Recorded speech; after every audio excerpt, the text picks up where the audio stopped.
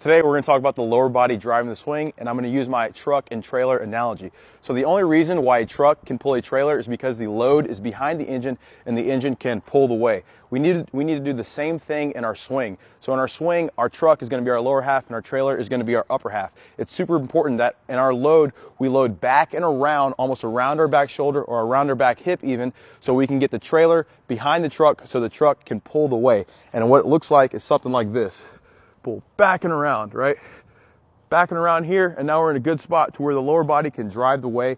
If we if we just get back, straight back, then we're just gonna spin off like this.